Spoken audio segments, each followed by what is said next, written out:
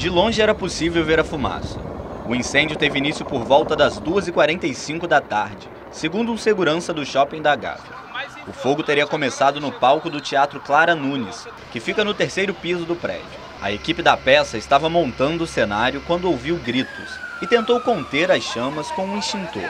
Escutou uma gritaria, aí como abri a cortina, quando abri a cortina, abrimos fogo. Pegamos o extintor para apagar, quando fomos para apagar não deu tempo. A fumaça começou a se alastrar e funcionários e clientes se assustaram e começaram a correr.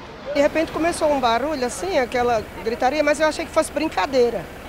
Aí de repente começou a sair aquela fumaça muito preta e todo mundo correndo desesperado. Só deu tempo da gente ver todo mundo correndo, pegar nossas coisas na loja, a fumaça tomou conta aqui do primeiro piso rápido. Seis quartéis do Corpo de Bombeiros ajudaram a controlar o fogo. Eles montaram um posto de controle no local.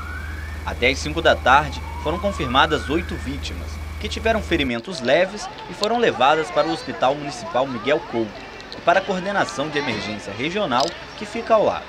A primeira vítima socorrida pelos bombeiros foi um funcionário da Brigada de Incêndio do shopping.